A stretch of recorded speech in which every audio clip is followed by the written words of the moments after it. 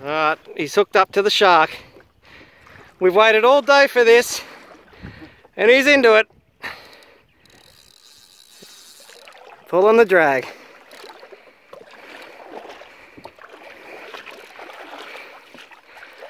How's it feel? Feels good. Oh, oh gone? Gone. He's still attached. Hey? There's the float. I'm going to go get him for you. Alright, we're back. Take two. After the shark busted the line and luckily we had a float tied on so we could go and track him down. And I've retied the line. And we're back in action. There you go, Pa. That's going alright, mate. I can't believe what you've just done. I'm puffing because I just chased him down for about 10 minutes.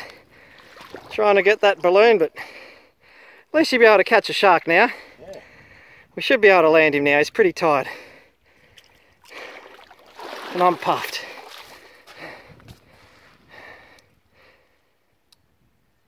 He's pretty tired now. Oh, there you go. See him? He's over a metre. Yeah. About the same size as yours, I think. We'll find out. Alright, I'm going to pull him up. Hooked perfectly.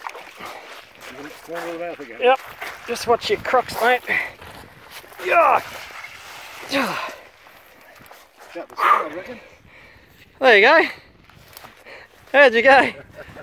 Happy days. Yeah, mate, my earth. So, there you go. First shark, eh? Yeah, First bully. brilliant. Nice work. We'll measure him up and take a photo. him- We got him twice. Yeah, we did catch him twice.